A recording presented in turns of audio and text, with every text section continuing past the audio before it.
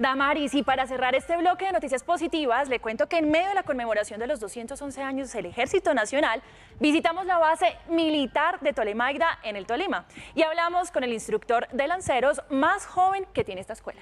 Así es, y es que una de las áreas élite de la vida militar, por eso el instructor nos explicó cómo las destrezas que se desarrollan son aplicadas en la vida diaria. Nuestra periodista Stephanie Valencia nos cuenta su historia.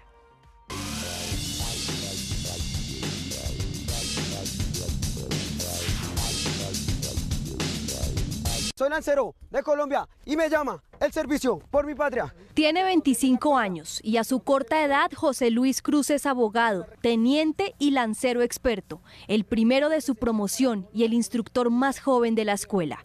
Se dice que los lanceros son unidades élite, tropas que viven de los retos y como buen santanderiano al teniente Cruz le ha tocado enfrentarlos en su vida. Porque estar lejos de su casa, no tener la familia cerca, eh, a veces, digamos, los seres queridos, podemos estar perdiendo un ser querido, todo eso nos afecta psicológicamente.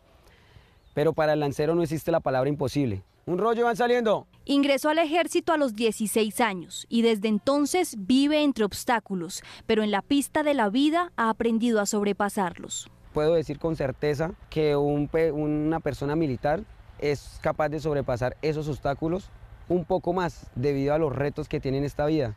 Las destrezas que se requieren en la pista las ha aplicado en su vida, supervivencia, fuerza, combate, agilidad física y mental.